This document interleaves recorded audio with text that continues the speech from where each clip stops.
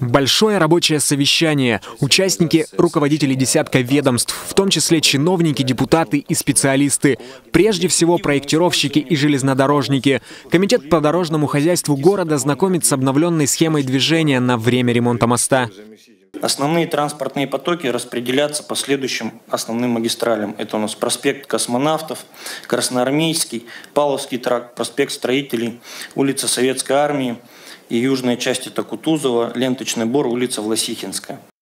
На этих улицах отрегулируют 20 светофоров, на четырех перекрестках введут дополнительные секции для постоянного поворота, запретят стоянки, а также ограничат движение грузовиков по улице Челюскинцев и проспекту Калинина.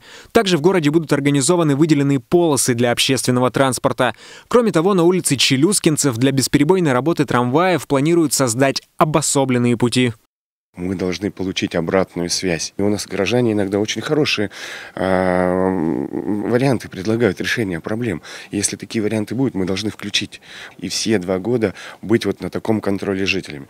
Только что-то, где-то какая-то информация, то есть эта информация должна анализироваться, должна оцениться.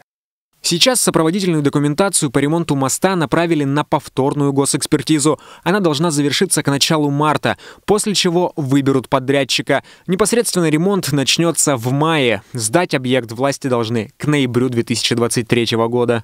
Артем Гусельников. День с толком.